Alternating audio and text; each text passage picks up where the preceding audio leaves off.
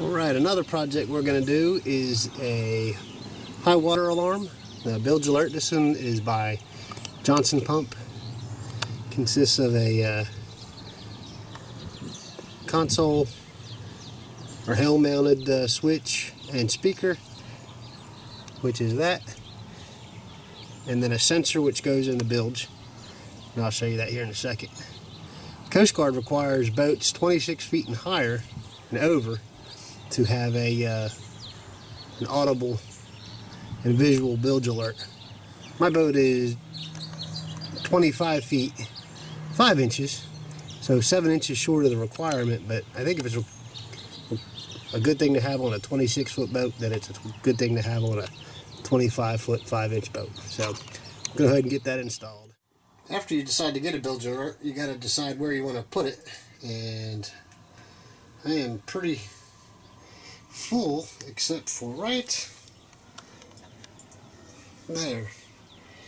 So that is where I'm going to put the, uh, the controller. Of course I got my spotlight on one side, trim tabs, and my uh, ignition on the other.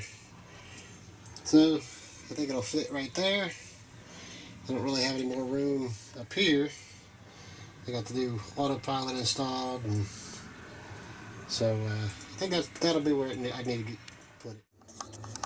Alright, so before I drill any holes, of course you want to look behind where you intend on putting something. I have, can't really see it, but some kind of box mounted right there. So that is not going to work unless I decide to move that box. So I'm going to have to figure out a different place for my switch. Alright, so after some searching and looking around for a place to mount this, I realized I had a switch for a fish box pump that I no longer use that was doing nothing but taking space right there. So, that is obviously a great place for my bilge alert. Um, the circle here is the circle for the hole that I need to drill for the actual speaker. And then to get it to fit around everything, use my little Dremel and cut it. So now,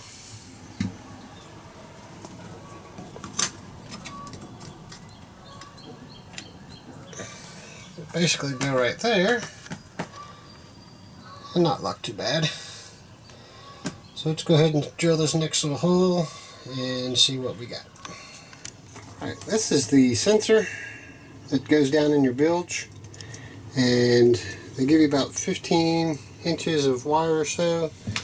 I went ahead and pre-soldered my wires up with about, I don't know, 20 plus feet of wire. That way I can go from the bilge, which will be down there, and run it up through the uh, through the deck. I use this uh, It's called, fish tape, fish wire, which uh, makes it a whole lot easier. I'm going to go ahead and knock that out real quick. Alright, I got my wiring pulled through, and I got my connections made down here. And I got the switch in.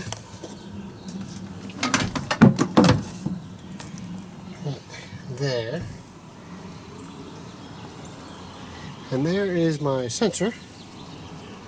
So I am going to actually dip that down into the water. A little bit of water of the bilge.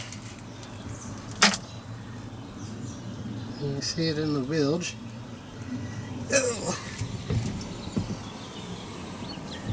My boat is filthy. And you can see it's got the light on.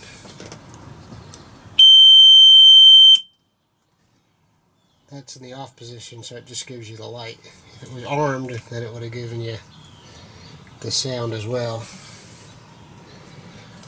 Pull it out, and then the light went out. It's got an 8 second delay, that way, yeah, if it just gets a splash or whatever, it won't send your, turn your alarm on.